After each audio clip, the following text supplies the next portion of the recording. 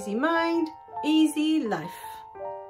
So, following on from the previous topics, I have a question for you today.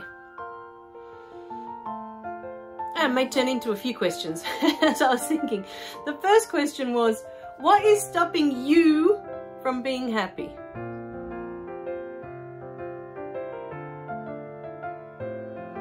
So I really want you to sit with that today and ask yourself throughout the day, what is stopping me from being happy? What is in the way of me and happiness? I remember one morning, because for me, more than happiness has been freedom, right? The, this feeling of not being free, right? And, uh, and I have lots of conversations with my 11 year old now. And one morning, I'm there, you know, I'm just getting my tea ready. I was just about to take a sip, and she comes into the kitchen and she says to me, Mum, I said, What? she goes, She says to me, You're not waiting for freedom. She says, Freedom is waiting for you. And she walked off. Oh, she gets these funny messages sometimes and she just throws them at me, and then be like, Oh. so, That's a good question. What is stopping you from being happy? And as you think about that, there's probably a list happening. Probably a list, big list. My boss, my work, my partner, my children. Big list of all the things in my house, my car, all the things that aren't working in your life right now.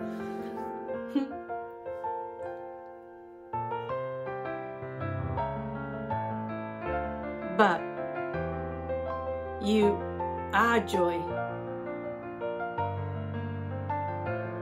You are happiness. Already. You are that. You are that. So, what is stopping you in this present moment from being happy is you. There's nothing else in the way. I know you've probably got a huge list.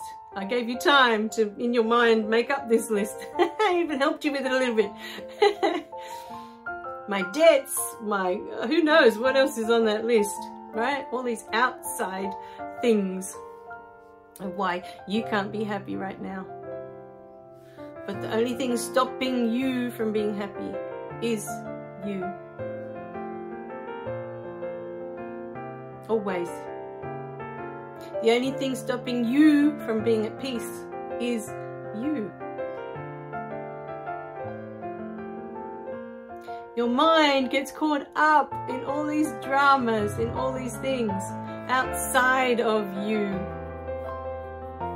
that cause you to not have peace inside.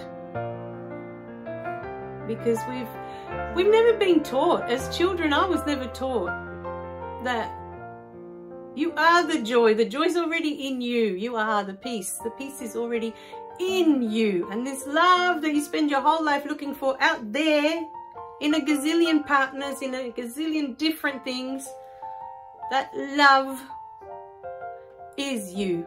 And that's the love you've been looking for your whole life. I have a beautiful soul partner. I couldn't have asked for more. I love him dearly and my daughter, I love her dearly. But they were not the love I was looking for. And I spent a good part of my adult life feeling alone and lonely. Not just alone, but lonely, like I was the only one. Like I'd been left here and I was the only human on the whole planet sometimes. That's how I felt. Even though I was surrounded by people that loved me and that I loved, there was an emptiness inside that it just can't be filled by anything outside of you. It just can't. That joy that we're talking about, that happiness, it can't be filled by anything outside of you. And that peace can't be filled by anything outside of you. And so many of us spend our whole lifetimes chasing all these things outside of us. Because that will give us peace. That will give us joy. That will bring us love.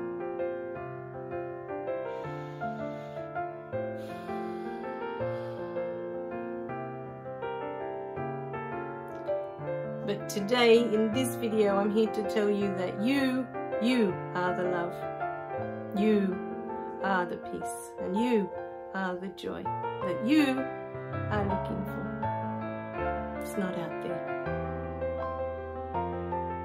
And yes, it's your experience to go through all of that. That's what we're here for. so please, do it all. Do it all. There is no right way or wrong way. The same journey to the same destination. We're all going to die. None of us get a free pass from that. That's the end of the trip for all of us. We're born. That's the beginning of the trip. We have this beautiful journey called life. Middle of the trip. And then we die. End of the trip. We all punch out at the end with our death card. All of us. No exceptions that I know of. so, you know, what you do in between is up to you. How you want to live what's in between is up to you. But you are here now. How do you want to live it? How do you want to be? What? What's your priority? You know, if you're in pain and if you're suffering, emotional pain, I'm talking about emotional pain, but look, even physical pain, but we'll come back to that another time if you're in pain and if you're suffering, I'm telling you here, this is optional. You can choose not to by changing the thoughts in your head, by changing the way you look at yourself. You don't have to be the victim anymore.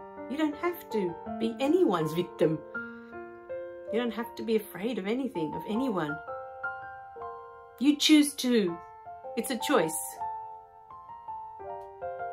We choose in every moment whether we feel we're making a decision or not. We are choosing. We're choosing to stay angry with a parent or we're choosing to understand, have compassion and forgive. There's a choice. We are choosing to love ourselves or we are choosing to look for love out there. Find someone else to love us because we can't love ourselves.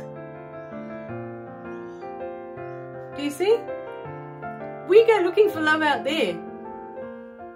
In the hope, because this is what happened the first, you know, time I looked for love. I was expecting that person to make me feel loved. Because up until that point in my life, I didn't feel loved. Can someone outside of you make you feel loved if you can't even love yourself?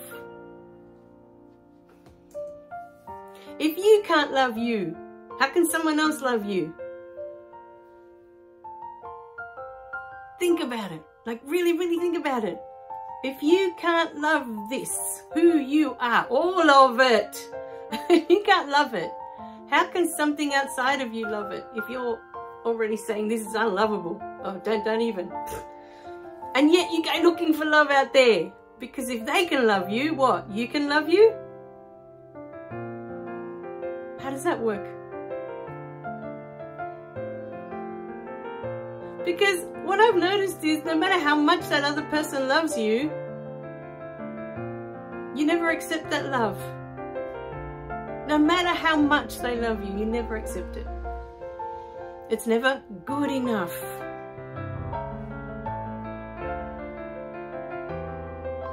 Don't love you.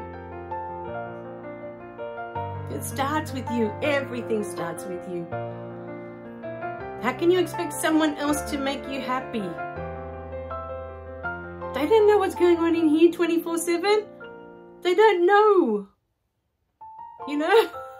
no matter how much you've told them about yourself, they can't know. They can't, unless they can read minds and then they can, you know, what I call telepathic that they can, or telepathic, I think is the actual word. I always call it telepathetic. I make up my own words. But, you know, if they have that skill that even they can read your mind,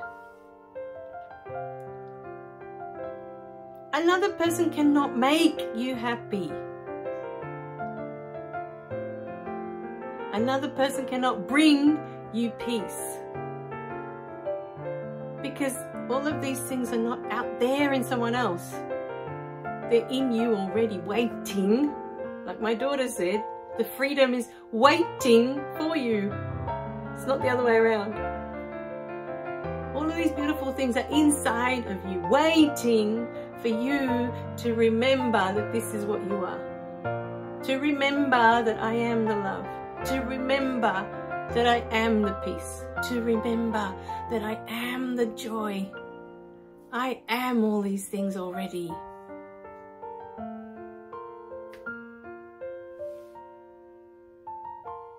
Darlings. I love you guys. Remember to click like and subscribe so you don't miss any of the messages. And I'll see you in the next video. Bye for now.